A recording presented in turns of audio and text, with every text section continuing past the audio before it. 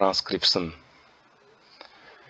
process of copying genetic information from one DNA strand of into RNA तो ये DNA से RNA बनने की जो प्रोसेस है, उसी को ट्रांसक्रिप्शन बोला जाता है। Principle of complementarity governs process except the adenosine complements now forms base pair with uracil तो यहाँ पे जो कॉम्प्लीमेंट्रिटी का जो रूल है, वो यहाँ पे भी लगता है। यहाँ पे क्या है डीएनए से जो एमआरएनए बनेगा तो उसके अंदर बस एमआरएनए के अंदर एक जो जहाँ पे थाइमिन आना चाहिए, वहाँ पे यूरेसिल आता रहेगा। Only a segment of DNA and only one strand is copied into RNA तो यहाँ पे एक सेगमेंट ही डीएनए का वो यूज़ किया जाता है और एक स्ट्रैंड ही कॉपी करती है आरएनए की। तो कई बार क्वेश्चन पूछ लेते हैं कि दोनों स्ट्रैंड क्यों नहीं काम करती यहाँ पे? एक स्ट्रैंड से कॉपी क्यों ली जाती है? जैसे रेप्लीकेशन मैंने देखा दोनों स्ट्रैंड में चलती है, लेकिन जो ट्रांसक्रिप्शन है, वो केवल सिंगल स्टैंड में चलेगी। रीजन क्या है?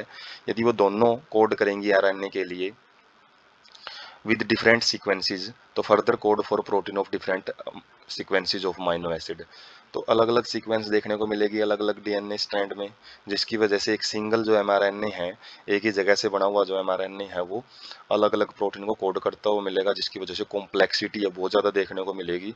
एक जो स्टेप एक जो एम वो काफ़ी सारे प्रोटीन बनाता हुआ देखने को मिलेगा। टू आर मोलिक्यूल यदि प्रोड्यूस होते हैं एक साथ में साइमल्टेनियसली का मतलब साथ साथ में प्रोड्यूस होते हैं वुड बी कॉम्प्लीमेंट्री वो एक दूसरे कॉम्प्लीमेंट्री मिलेंगे। और जैसे ही वो बन के तैयार होंगे तो एक दूसरे के साथ ही बॉन्ड बना के डबल स्टैंडर्ड स्ट्रक्चर है, वो बना लेते हैं डबल स्टैंडर्ड आरएनए बनाएँगे। उसके बाद जो प्रोटीन संथेसिस है, वो नहीं हो पाएगी, क्योंकि प्रोटीन संथेसिस के लिए हम आगे पढ़ेंगे ट्रांसलेशन के अंदर। एमआरएनए को सिंगल स्टैंडर्ड होना पड़ेगा, जिसके ऊपर आके R N A R R N A राइबोजो मतलब आर एन ए है, वो आके अटैच होएगा। उसके बाद टी आर एन ए है, वो प्रोसेस को आगे जो पोलीमराइजेशन अमाइनो एसिड की वो करवाता हुआ जाता है। तो यहाँ पे डबल स्टैंडर्ड आरएनए की ज़रूरत नहीं पड़ती है। तो ये दो रीज़न रहते हैं जिसकी वजह से जो एम आर एन ए उसको सिंगल स्टैंडर्ड रखा जाता है, जो आर एन ए यहाँ पे बनता है मैसेंजर आर एन ए बोलते हैं। तो वही है which prevent R N A from being translated into protein तो इसकी वजह से जो एम आर एन ए है, वो आगे प्रोटीन को ट्रांसलेट नहीं कर सकता ट्रांसलेशन प्रोसेस के अंदर नहीं जा सकता और exercise of transcription would become a futile one और इससे क्या है? जो भी हमने मेहनत करी है, जो एमआरएनए बनाया है डीएनए से तो वो यदि प्रोटीन ही नहीं बनाएगा तो प्रोसेस का फ़ायदा नहीं, क्योंकि जुड़ी हुई प्रोसेस है। ट्रांसक्रिप्शन के बाद ट्रांसलेशन का होना बड़ा ज़रूरी है, तभी ये सेंट्रल डोगमा काम का रहता है। उसके बाद ट्रांसक्रिप्शन यूनिट तो ट्रांसक्रिप्शन जहाँ पे शुरू होती है तो वो कुछ पोर्शन प्रेजेंट होते हैं थ्री रीजन होते हैं। एक प्रोमोटर रीजन होता है, एक स्ट्रक्चरल जीन होते हैं, एक टर्मिनेटर प्रोमोटर का मतलब जो शुरू करवाता है प्रोसेस को। स्ट्रक्चरल जो मेन जिसकी हमने कॉपी लेनी है डीएनए से वो भाग और एक टर्मिनेटर जो कि इस प्रोसेस को खत्म करवाएगा टर्मिनेट करवाएगा। Two strand have opposite polarity and DNA dependent RNA polymerase also catalyse the polymerisation in तो यहाँ पे जो DNA dependent RNA polymerase enzyme आएगा, क्योंकि यहाँ पे आरएनए बनाना है, किसको कॉपी करके? डीएनए को कॉपी करके, इसलिए वो डीएनए डिपेंडेंट रहेगा। और दोनों स्ट्रैंड अब अपोजिट पोलैरिटी की ज़रूर रहेगी, लेकिन हमने एक ही स्ट्रैंड को कॉपी करना है। और जो इंजाइम काम करेगा, वो भी जैसे हमने रेप्लीकेशन में देखा था five dash to three dash direction ही रहेगी उसके काम करने की। Template strand that has a polarity three dash to five dash ज़ाहिर सी बात है, जब यदि नई strand five dash to three dash बनेगी तो पुरानी स्ट्रैंड की पोलैरिटी है वो three dash to five dash ही चाहिएगी। टेम्पलेट की पोलैरिटी है जो, उसको टेम्पलेट स्ट्रैंड बोलेंगे कोडिंग स्ट्रैंड क्या होती है strand which has polarity to five इससे उल्टी जो स्ट्रैंड होती है कोडिंग स्ट्रैंड हालाँकि कोड नहीं करती है वो कोड तो टेम्पलेट स्ट्रैंड ही करती है। लेकिन इसका फ़ायदा क्या है, वो आगे हम देखेंगे। Although does not code for anything but has a sequence same as R N except thymine code तो नहीं करती है स्ट्रैंड डीएनए की जो दूसरी स्ट्रैंड होती है, लेकिन इसके पास जो सीक्वेंस होती है, उसको सीक्वेंस को देख के हम जो नया एमआरएनए बनेगा, पहले ही उसकी प्रिडिक्शन कर सकते हैं। तो इसलिए कोडिंग है जो, इसको देख के की जाती है। नए वाले जो डीएन जो एमआरएनए बनेगा ना, उसकी कोडिंग इस स्ट्रैंड को देख के की जाएगी। All reference point made with coding strand जितने भी रेफरेंस पॉइंट रहते हैं जो भी हमने प्रोटीन वगैरह देखना है, क्या बनेगा, क्या नहीं, वो सारे इस कोडिंग स्ट्रैंड को देख के ही बनाए जाते हैं। इसलिए इसको कोडिंग स्ट्रैंड बोलते हैं। तो ये टेम्पलेट स्ट्रैंड है, जैसे अलग अलग थ्री डैश से फाइव डैश की तरफ़ जा रही है। एडनिन थाइमिन ग्वाइनिन साइटोसिन इस तरीके से जो नाइट्रोजीनियस बेस हैं, वो एक रेगुलर अरेंजमेंट में पाए जाते हैं डीएनए के अंदर। और जो कोडिंग स्ट्रैंड है इसी की, जो दूसरी स्ट्रैंड है डीएनए की, उसको कोडिंग स्ट्रैंड बोलते हैं। और जो इससे फ़र्स्ट वाली स्ट्रैंड से, जो टेम्पलेट स्ट्रैंड से, जो प्रोटीन बनेगा, जो प्रोटीन का, जो एम बनेगा तो उसकी स्ट्रैंड क्या रहेगी? उसको हम यहाँ से पता कर सकते हैं।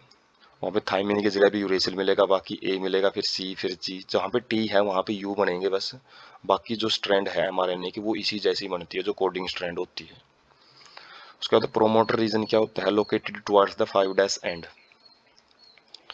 upstream of structural gene जो स्ट्रक्चरल जीन है, जिसकी हमने इन्फॉर्मेशन लेनी है, उसके अपस्ट्रीम साइड में रहता है, उसके लेफ़्ट हैंड साइड में देखने को मिलेगा। और ये फाइव डैश एंड की तरफ़ रहता है, जो नई स्ट्रैंड होती है। DNA sequence that provided binding site for the RNA polymerase और ये वो सीक्वेंस होती है जहाँ पे जो डीएनए जो आरएनए पॉलीमरेज है, जो इंजाइम आरएनए की कॉपी ज़्यादा ज़्यादा जो चेन है, वो बनाएगा। पॉलीमराइज करेगा तो उसके लिए बाइंडिंग साइट का काम करती है, उसके चिपकने का काम। इस साइट पे रहता है डीएनए सीक्वेंस पोर्शन पे। And its presence defines at the template and the coding strand और इसी की प्रेजेंस से ही हम पता कर सकते हैं कि टेम्पलेट स्ट्रैंड यहाँ से शुरू हो रही है टर्मिनेट की वजह से वहाँ पे बता सकते हैं कि भाई जो स्ट्रक्चरल जीन है, यहाँ तक प्रेजेंट है।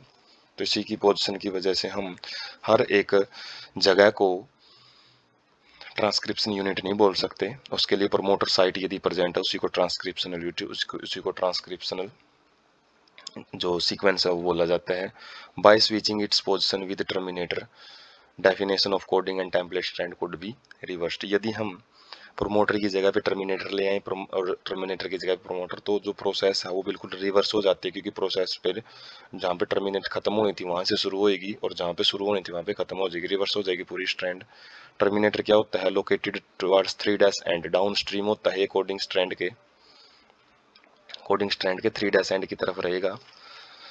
जैसे जो टेम्पलेट स्ट्रैंड है, ऊपर हमने पिक देखी तो जो इस साइड में प्रेजेंट होता है। जो कोडिंग स्ट्रैंड है कोडिंग स्ट्रैंड के फाइव डैश एंड की तरफ़ रहेगा तो उसको हम प्रमोटर बोलते हैं जो कोडिंग स्ट्रैंड के थ्री डैश एंड की तरफ़ रहेगा, उसको टर्मिनेटर रीजन बोलते हैं। Usually define the end of process transcription तो ट्रांसक्रिप्शन प्रोसेस को ही डिफाइन करता है, उसका एंड है जो मतलब उसकी प्रोसेस का जो खात्मा इस जगह पे आके हो जाता है।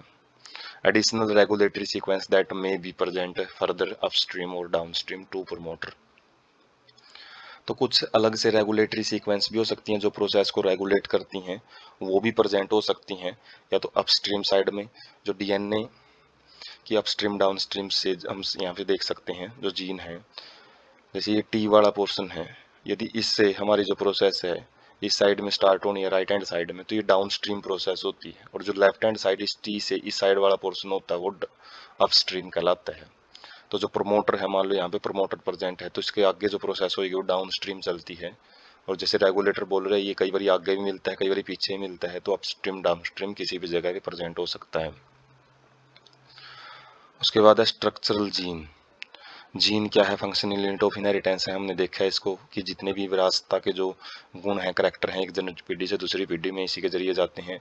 Located on DNA but difficult to define a gene in its term of DNA sequence DNA पे ज़रूर प्रेजेंट होता है, लेकिन जीन को हम सीक्वेंस के बेस पे नहीं डिफाइन कर सकते कि इस पार्टिकुलर सीक्वेंस से ये करेक्टर कोड किया जाएगा, क्योंकि आगे देखेंगे सप्लाइसिंग भी होती है हमारे की वहाँ से प्रोटीन बनता है, वो सारा करेक्टर लिए होता है तो ये काफ़ी कॉम्प्लेक्स प्रोसेस होती है। DNA sequencing coding for tRNA और RNA molecule also define a gene तो जो टीआरएनए जो राइबो न्यूक्लिक एसिड होते हैं, इसके टाइप होते हैं टीआरएन ट्रांसफ़र टीआरएनए और राइबोसोमल आरएनए तो वो उनको कोड करने वाले भी, जो डीएनए सीक्वेंस है, उनको भी जीन ही बोला जाता है। तो जीन ज़रूर नहीं करेक्टर को कोड करेंगे। और शरीर के कुछ कॉन्स्टिट्यूंट पार्टिकल हैं, उनको भी कोड करते हुए मिलेंगे।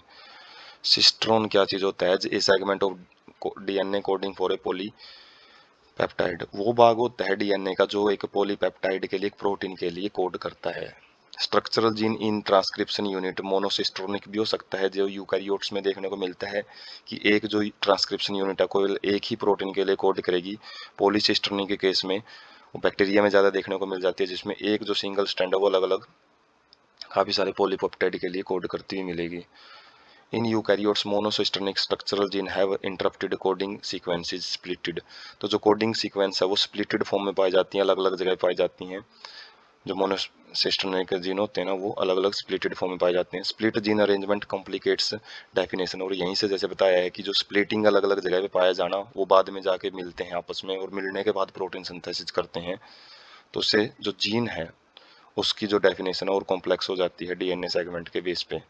एक्जोन क्या है? कोडिंग सीक्वेंस और एक्सप्रेस्ड सीक्वेंस तो जो मैच्योर आगे हम स्प्लाइसिंग पढ़ेंगे जिसमें एमआरएनए के अंदर कुछ चेंज किए जाते हैं और चेंज करके जो एक एम तैयार होता है तो उसके कोडिंग स्ट्रैंड में और एक्सप्रेस्ड जो सीक्वेंस होती हैं, जो फाइनल सीक्वेंस होती हैं, उनको हम एक्जोन बोलते हैं और ये मैच्योर एम आर में प्रोसेस्ड आरएनए में मिलता है इंटरप्टेड बाई इंट्रोन और जगह जगह पे ये एक्जोन है जो इंट्रॉन्स के द्वारा इंटरप्टेड होती है। जैसे एक्जोन पोर्शन मिलेगा, फिर इंट्रोन मिलेगा, फिर एक्जोन फिर इंट्रोन तो एक्जोन लगातार नहीं मिलती है बीच बीच में जो इंट्रॉन्स है वो देखने को मिलते हैं। तो इंट्रॉन्स क्या होते हैं? या इंटरवीविंग सीक्वेंस क्या होती है? इंटरवीविंग मतलब बीच में जो प्रेजेंट होती है एक्जोन के, उन सीक्वेंस को बोलते हैं। ये मैच्योर या प्रोसेस्ड आरएनए में देखने को नहीं मिलती हैं। आरएनए स्प्लाइसिंग के बाद इनको हटा दिया जाता है। और जो मेन स्ट्रक्चर बनती है वही आगे एमआरएनए में शो की जाएगी और उसी से प्रोटीन सिंथेसिस होता है। कुछ रेगुलेटरी सीक्वेंस भी होती हैं जो किसी आरएनए या प्रोटीन के लिए कोड नहीं करती। Effect inheritance of a character जो कि किसी भी करेक्टर को, के इनहेरिटेंस को काफ़ी प्रभावित करती हैं, क्योंकि इन्हीं के ऊपर जो प्रोसेस है ट्रांसक्रिप्शन प्रोसेस है, उसी का रेगुलेशन डिपेंड करता है कि प्रोसेस को ऑन कब रखना है ऑफ़ कब रखना है।